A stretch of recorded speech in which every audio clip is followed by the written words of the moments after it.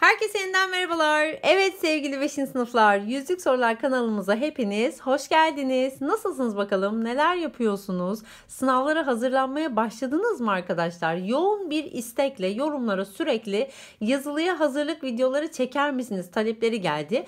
Biz de bu taleplere cevaben hemen ilk yazılı örneğimizi arkadaşlar 5. sınıf din kültürü 1. dönem 1. örnek yazılı sorularıyla bugün sizlerin karşınızdayız.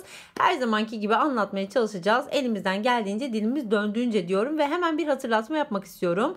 Lütfen sevgili arkadaşlar anlamadığınız noktaları, hazırlanırken sıkıntı çektiğiniz noktaları ve konuları yorumlara bırakmayı unutmayın. O halde kağıt kalemleri hazırlayın çünkü not alarak dinlemeniz gereken bir ders olacak bu ders ve hemen başlayalım diyorum. Hemen güzel bir boşluk doldurmaca sorusuyla başlıyoruz. Şimdi yukarıda bazı kelimeler görüyoruz değil mi? İhlas, Esma-ı Hüsna'yı görüyoruz burada dua kelimesini görüyoruz. Ebrehe, Mevlid ve münafık kelimelerini görüyoruz arkadaşlar. Hemen birkaç tanesinin isimlerinin anlamlarından bahsedelim. İhlas Allah'ı görüyor gibi ibadet etmek demektir sevgili arkadaşlarım. Yani biliyorsunuz ki biz Rabbimizi göremiyoruz ama onu o kadar çok seviyoruz ve onun varlığına o kadar çok inanıyoruz ki sanki onu görüyor gibi ibadet ediyoruz. Bazen biraz korkuyla bazen de ümit ile her zaman ona ibadet ediyoruz. Bu samimi ibadet haline ihlas diyoruz arkadaşlar. Esma Hüsna, Hüsna, Hüsn güzel demek arkadaşlar. Esma isim kelimesinden geliyor. Esma Hüsna güzel isimler. Allah'ın güzel isimleri. İşte Er-Rahman, Er-Rahim, El-Melik, El-Kuddüs diye başlayarak 99 tane devam eden benim daha çok küçük yaşta ezberlediğim. Var mı aranızda Esma Hüsna'yı ezbere bilenler? Evet hemen bugünün gülümseten sorusu da gelsin. Kimler Esma Hüsna'yı en azından bir kısmını ya da belki tamamını ezbere bilenler var mı? Evet gerçekten bilenler var varsa onları şimdiden tebrik ediyorum. O yorumları beğeneceğim arkadaşlar. Dua allah Teala'dan isteklerimizi, dileklerimizi ona yakarır şekilde samimi bir niyetle istemek demektir. Ebrehe kelimesini birazdan hemen vurgulayacağız. Mevlid, Mevlid kandilini daha önceki videolarımızda da anlatmıştık. Peygamber Efendimizin dünyaya geldiği gece, doğum gecesi olarak anlatmıştık. Münafıkta e, bu da yine tanımları verilecek olan kelimelerden bir tanesi detaylarında. Hemen bakalım o zaman. Aşağıdaki cümlelerde boş bırakılan yerleri uygun kavramlarla tamamlayınız demiş. Peygamberimiz sallallahu aleyhi ve sellem doğum günü olarak Mevlid kandili kutlanmaktadır. Daha önce kandil gecelerinden bahsetmiştik değil mi? Mevlid kandili, Miraç kandili, Berat kandili, Regaib gecesinden bahsetmiştik, Kadir gecesinden bahsetmiştik. Lütfen o konunun anlatıldığı videomuzda dinlemeyi unutmayın arkadaşlar. İnsanın isteklerini Yüce Allah Celle Celaluhu bunu soranlar olmuştu aranızda. Ee, Celle Celaluhu ne demek? Biz allah Teala'dan bahsederken bir arkadaşımızdan bahseder gibi değil de gerçekten çok sevgi ve saygı duyduğumuz birinden bahseder gibi bahsetmeliyiz. Bu sebeple onun adının yanına gelmiş olan bir saygı sıfatıdır arkadaşlar. Aynı şekilde burada sallallahu aleyhi ve sellem de Peygamber Efendimizin adının yanına bahsetmiş olduğumuz saygı sıfatlarından bir tanesi. Devamında demiş ki insanın isteklerini Yüce Allah'a iletmesi ve ondan yardım dilemesine ondan yardım dilemesine dua adı verilir. Evet kimler nasıl dua ediyor? Var mı aranızda dua edenleriniz? Gerek her namazdan sonra gerek her özel kandil gecelerinde, bayram gecelerinde dua edenler var mı? En çok neyi istiyorsunuz Rabbinizden arkadaşlar? Çok merak ediyorum. Bizlere bir yazın bakalım biraz sohbet edelim. Devamında demiş ki nokta nokta suresi Allah'ın varlığını, birliğini ve hiçbir şeye muhtaç olmayışını anlatır bizlere. Evet hangi suredir bu? Bismillahirrahmanirrahim. Kul huvallahu ehad, Allahü samet. Lem yelit ve lem yület ve lem yeküllehu küfuven ehad diye bahsetmiş olduğumuz Allah'ı görüyor gibi ibadet etmek samimiyetini ifade eden İhlas suresi olacak bu da. Kabe'yi yıkmak için Mekke'ye saldıran Yemen valisi. İşte az önce demiştim hemen aşağıdaki tanımlarda vereceğiz. Yemen valisi Ebrehe ne yapacak işte Kabe'yi yıkmak için e, büyük bir fil ordusuyla beraber ne yapacak e, Mekke'ye gelecek ama biliyorsunuz ki öyle bir dua edilecek ki işte Abdülmuttalip öyle bir dua edecek ki o zaman ebabil kuşları ne yapacaklar? Bu filleri yenecekler arkadaşlar ve Kabe'yi koruyacaklar bu ebabil kuşları. Yani bir kuşun bir fili yendiği yerde aslında duanın gücünü görebiliyoruz. Çok güzel bir şekilde çok önemli bir nokta. Bize bu noktayı anlatan suremizde arkadaşlar Ebabil suresi olarak çıkıyor karşımıza diyorum. Hemen devamında dedi ki Allah'ın güzel isimlerine Esma-i Hüsna denir. Yani en güzel isimler Allah'ındır diyerek yaklaşık 99 tane ismi bilmeli, belki de öğrenmeli anlamlarıyla beraber Allah Teala'ya dua ederken bu anlamlarla beraber Rabbimizi daha çok sevebiliriz arkadaşlar değil mi? Çünkü Er Rahman, Er Rahim esirgeyen demek, bağışlayan demek, her şeyi yaratan, e, istediğine hesapsız rızık veren, e, hastalıklara şifa veren. Bu yüzden bu tarz anlamları bilmek, Allah Teala'nın isimlerinin anlamlarını bilmek bizlere onu tanımamız için daha güzel e, ne yapacak? işaretler verecek diyorum. Hemen bir doğru yanlış sorusuyla da kaldığımız yerden devam edelim. Aşağıdaki ifadelerin başına doğru ve yanlış olmasına göre kodlamayı yapın diyor soru bize. Hemen bakıyoruz. Allah'ın Celle Celaluhu bir ve tek olmasına vahdaniyet denir. Evet doğru bir bilgi arkadaşlar. Çünkü allah Teala'nın sıfatları var. Zati sıfatlar var ve sübuti sıfatlar var. Sevgili arkadaşlarım zati sıfatlar sadece allah Teala'ya ait olan sıfatlardır. Yani nasıl mesela vahdaniyet, varlığının tek olması, vücut, yani kendiliğinden bir varlığının olması ya da işte kıdem varlığının ezeli olması, beka varlığının ebedi olması ya da işte muhalefetün lil havadis, kıyam bir nefsi gibi e, varlığı, varlığının kendiliğinden olması ve hiçbir şeye dayanarak hani bir varlık var olmaması. Mesela bizim varlığımızın temeli Rabbimizde. Çünkü Rabbimiz bizi var ediyor ama Allah Teala'yı var eden bir Allah yok. Çünkü o Allah bir ve tek varlığı kendiliğinden ezeli ve ebedi. Bu tarz sadece Rabbimize özgü olan sıfatları anlatan e, sıfatlara biz zati, onun zatına özgü sıfatlar diyoruz. Bir de sübuti sıfatlar var ki onlar hem Rabbimizde var hem bizde var. Ama Rabbimizde onların özellikleri sınırsız ve sonsuz. Bizlerde sınırlı ve sorunlu. Ne gibi yani öğretmenim diyecek olursanız mesela görmek gibi. Bizler de görüyoruz ama bizlerin görmek için göze ihtiyacımız var, ışığa ihtiyacımız var. Fakat Allah Teala'nın görmek için hiçbir şeye ihtiyacı yok. Ya da bizler de e, duyuyoruz ama bizlerin duymak için işte kulağa ihtiyacımız var, sinirlere ihtiyacımız var. Allah Teala'nın harflere, kelimelere, sese ihtiyacı yok. O bu şekilde de duyabiliyor. Bu yüzden bir de sübuti sıfatlarımız olacak arkadaşlar. Bunun da hemen altını çizelim. Bu nokta bu sene gerçekten sizler için önem arz eden noktalardan biri. Hemen şimdi ikinci bilgimize devam ediyoruz. Peygamber Efendimiz'e sallallahu aleyhi ve sellem ilk ayetin indiği gece Kadir Gecesi olarak kutlanmaktadır diyen bilgi doğru sevgili arkadaşlarım. Neden? Çünkü e, Kur'an-ı Kerim Ramazan ayında Nur Dağı'ndaki Hira mağarasında Peygamber Efendimiz'e ilk sure olan Alak suresi oku emriyle beraber indirilmeye başlandı. Ve aynı zamanda tamamlandığı gece de Kadir Gecesi olarak bilinir. Bu sebeple bizler de Ramazan ayının özellikle son 10 günü içerisinde aramış olduğumuz ve o geceyi bulduğumuzda dua ederek, ibadet ederek geçirmiş olduğumuz Kadir Gecesi'ni çok büyük bir maneviyatla kutlarız sevgili arkadaşlarım. Semi Allah her şeyi görür anlamı anlamına gelmektedir. Şimdi bu subuti sıfatlardan biri ama semi işitmek demek Allah Teala'nın seslere, harflere ve kulağa ihtiyacı olmaksızın işitmesine semi, her şeyi görmesine de sevgili arkadaşlarım basar deniyor. Yani el basiru olabilir. Aynı şekilde basar sıfatı Allah Teala'nın subuti sıfatlarından bir tanesi. Bu sebeple buradaki bilgiyi yanlış olarak vermiş diyorum. Kabe yeryüzünde inşa edilen ilk mabettir diyen bilgi doğru. Neden? Çünkü İslam inancına göre bizim ilk mabedimiz Kabe'dir sevgili arkadaşlar. İlk kıblemizin de Mescid-i Aksa olduğunu hatırlatmak istiyorum, vurgulamak istiyorum burada.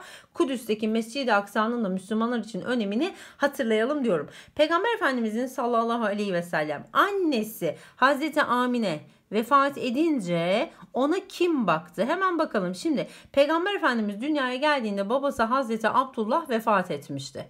O yüzden babasını hiç görmeden dünyaya geldi ve ne yaptı? İşte belirli bir yaşa kadar ona süt annesi Hazreti Halime baktı. Çünkü o dönemde Mekke hanımlarının işte sütleri çok bereketli olmuyordu. Çocukları aç kalıyordu ve orada bir gelenek halindeydi. Çocukları bir süt anneye vermek. Peygamber Efendimiz de Hazreti Halime'ye te emanet edildi, teslim edildi. Belirli bir yaşa kadar onunla kaldı fakat sonrasında Hazreti Amine tekrar onu e, ne yapmaya bakma tekrar ona bakmaya başladı. Ama Hazreti Amine çok kısa bir süre yaşayabildi Peygamber Efendimizle beraber ve onun vefatından sonra Peygamber Efendimizin velisi, vasisi Hazreti Abdülmuttalip yani dedesi oldu sevgili arkadaşlar. Hemen akabinde de Hazreti Abdülmuttalip'i dedesini kaybettiği zaman ona 25 yaşına kadar e, Hazreti Ebu Talip hatta şöyle diyelim isterseniz Ebu Talip dedesi baktı. Yani Hazreti Ömer değil sevgili arkadaşlarım bu bilgi yanlış. Hazreti Ömer bizim için İslamiyet'in ikinci halifesi olarak bilinir ve aynı zamanda Müslümanlığın 40. Müslümanı olarak biliniyor İslamiyet döneminde. Cahiliye döneminde de aynı şekilde. Peygamber Efendimiz sallallahu aleyhi ve selleme gelen ilk ayetler Alak suresinin ilk 5 ayetidir diyen bilgi doğru. Bismillahirrahmanirrahim. İkra bismi rabbikel lezi halak halakal insane min alak. Evet oku yaradan Rabbinin adıyla oku o seni bir kan pıhtısından yarattı diye devam eden bir sureden bahsediyoruz. Ve arkadaşlarım bu bize aslında o kadar güzel ufuklar açabilecek bir bilgidir ki. Neden? Çünkü İslamiyet'in tamamen okumaya, okutmaya, eğitilmeye, eğitmeye önem verdiğini, bilgiyle, bilimle gelişebileceğini, asla kesinlikle insanların yanlış bildiği gibi e, okumaya karşı olmayan bir din olduğunu anlamış oluyoruz. Gerçekten din zaten düşünen, bilen, aklı başında insanların işi oluyor biliyorsunuz. Bu sebeple bizler de ne yapmalıyız? Mümkün mertebe okumalıyız, okutmalıyız sevgili arkadaşlar. Evet, bol bol kitap okuyalım. Özellikle Peygamber Efendimizin hayatını anlatan siyer kitaplarını okumaya dikkat edelim diyorum. Evet, siyer kitapları çok önemli. Var mı aranızda Efendimizin hayatını okuyan arkadaşlar? İkinci gülümseten sorumuz gelsin.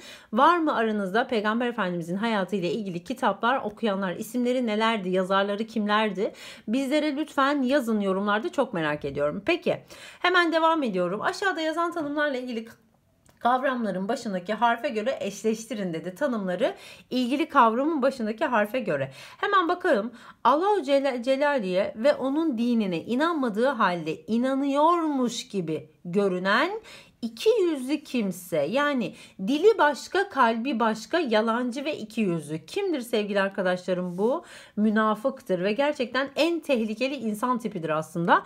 Çünkü size başka söyler ama içinde olan aklında olan kalbinde olan bambaşkadır. O insanın ne samimiyetinden emin olabilirsiniz ne söylediğine güvenebilirsiniz ne yaptığına inanabilirsiniz sevgili arkadaşlar. Çok önemli gerçekten Allah'ın varlığını kabul etmekle beraber ona ortak koşan, ortak koşmak kelimesinin anlamı arkadaşlar şirk. Sanki haşa Allah'tan başka bir Allah varmış gibi inanıp onu ortak koşan başka bir Rab de vardır. Ya da ne yapıyor mesela? Parayı o kadar çok seviyor ki haşa adeta paraya tapıyor yani ve Allah'ın varlığını unutuyor. Allah'ı e, Allah'tan başka işte paranın her şeyi yapabileceğine inanıyor. Ne yapıyor? Parayı o zaman ilahlaştırmış oluyor sevgili arkadaşlar. İşte bu tarz durumlarda davranış olarak dikkat etmemiz gereken davranışlar arasında hiçbir şeyde aşırıya kaçmamamız gereken bir dinimiz bize bunu emreden bir dinimiz var aslında.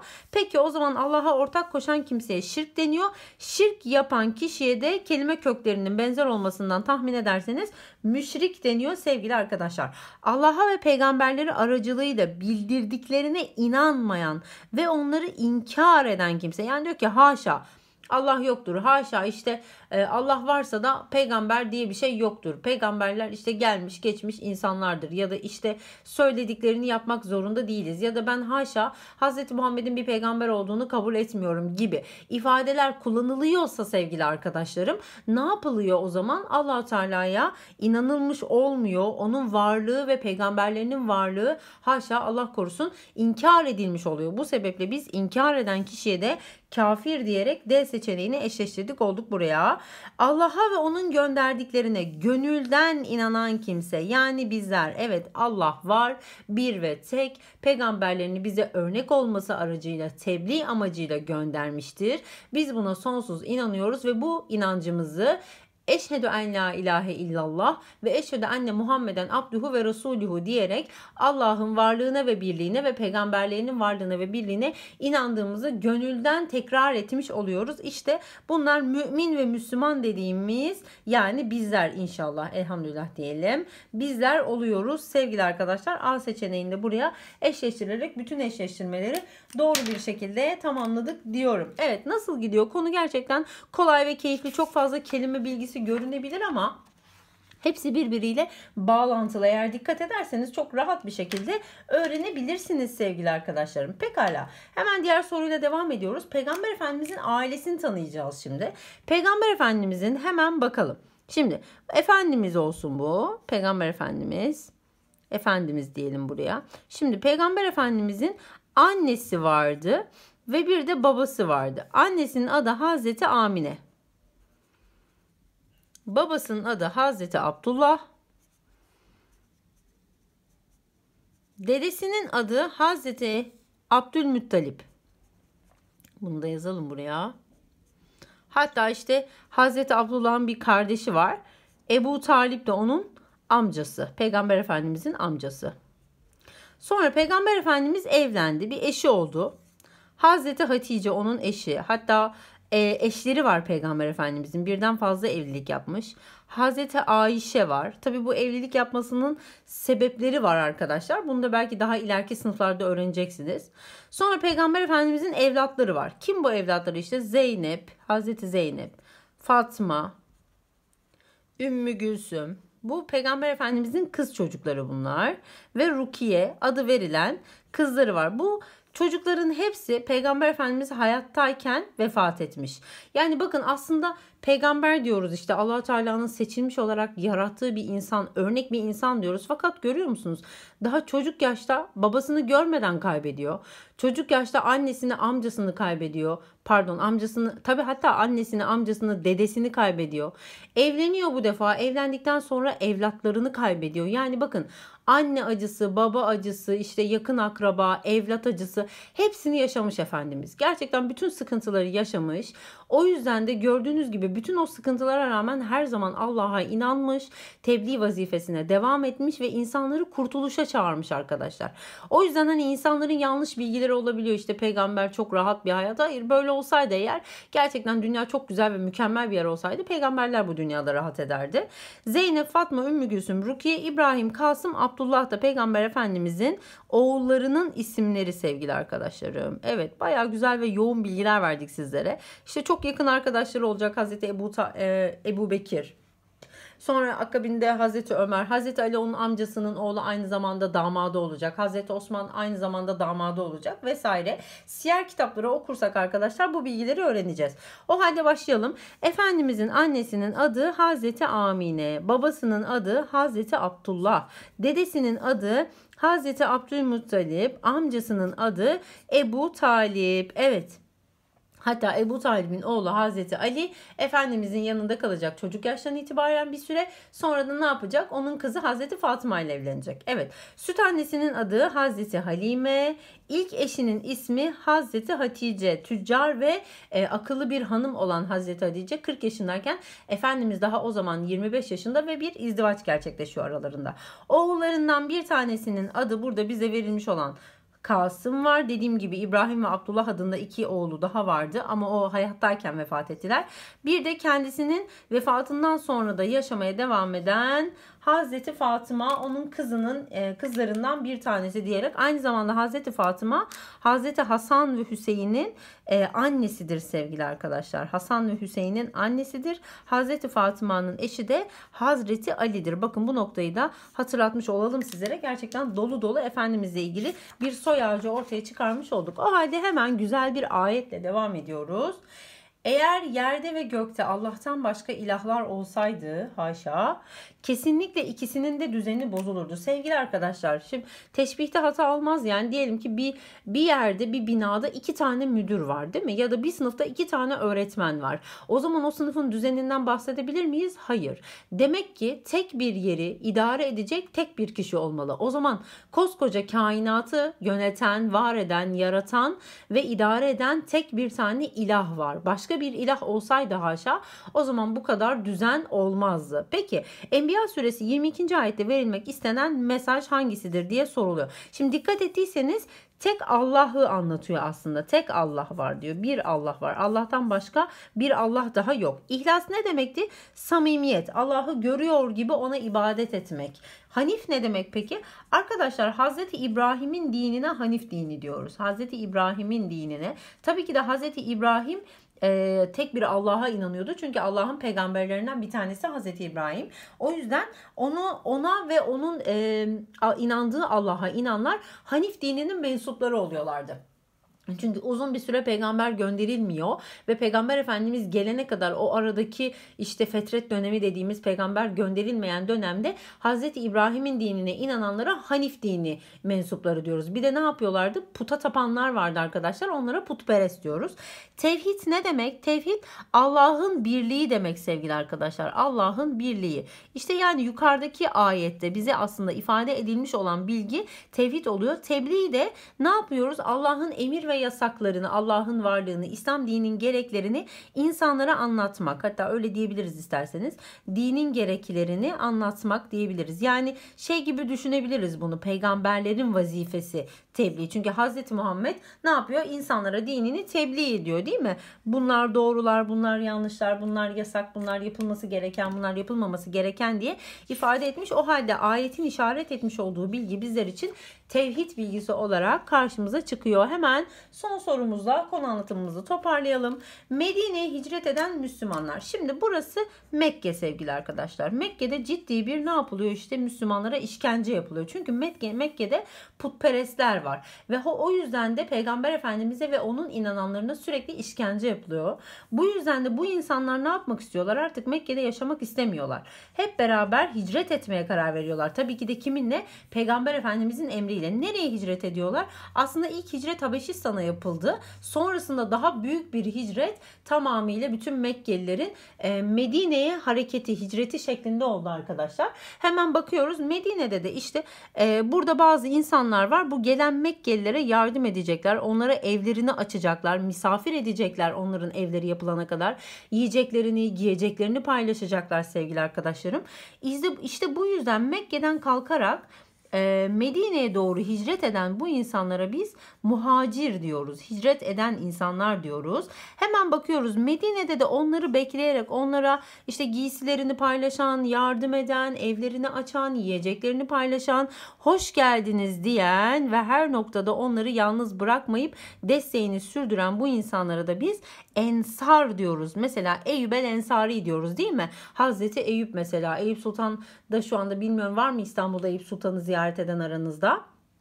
Hazreti Eyüp'ün e, Eyüp Sultan Hazretleri'nin hikayesini bilen var mı? O yüzden hemen onu bugünün üçüncü gülümseten sorusu oldu. Eyüp Sultan Hazretleri'ni bilenler var mı aranızda? Hicret edip geliyor biliyorsunuz ki e, İstanbul'a ve e, keş, tabii ki İstanbul'u fethedemiyor ama yola çıkış amacı var arkadaşlar. Onları bilenler bizlere yazsınlar bakalım. İşte e, Eyüp Sultan Hazretleri de bu ensardan bir tanesidir. Bu yüzden muhacir göç edenler, ensar göç edenlere yardım edenler, el emin güvenilir demek Peygamber Efendimizin sıfatlarından bir tanesi. Efendimiz için kullanılıyor. El emin diyordu. Yani bakın müşrikler bile kafirler bile ona inanmadıkları halde onu el emin olarak çağırıyorlardı. Hanif'in de Hazreti İbrahim'in dini olduğunu söylemiştik. Bu sebeple cevabımız A seçeneği olduğu diyoruz. Güzel bir şemayla da bu soruyu ifade ettik sizlere. O halde hemen toparlayalım ve bir teşekkür sayfamızda konuyu artık tamamlayalım diyorum. Umarım faydalı ve gerçekten akıcı bir konu anlatım videosu olmuştur. Örnek soru çözümlü bir yazılıya hazırlık videosu oldu. Lütfen tekrar tekrar dinleyin. Eski din kültürü konularını tekrar tekrar dinleyin. Ve umarım sınavlarınız çok güzel geçer. Bu arada selamlar sevgili Tuzla Şehir Koleji ve sevgiler sevgili Turgut Reis İlköğretim Okulu öğrencileri. Arkadaşlar bizi izlediğiniz, dinlediğiniz, takip ettiğiniz için çok çok teşekkür ediyoruz. Hepinize çok yakında hep beraber 100 bin kişilik bir aile olacağız olacağız diyorum. Ve hemen diyorum ki beni dinlediğiniz için tekrar teşekkürler. Lütfen kanalımıza abone olmayı unutmayın sevgili arkadaşlar. Yeni videolarda görüşmek üzere. Kendinize iyi bakın. Sınavlarınızda başarılar diliyorum. Hoşçakalın.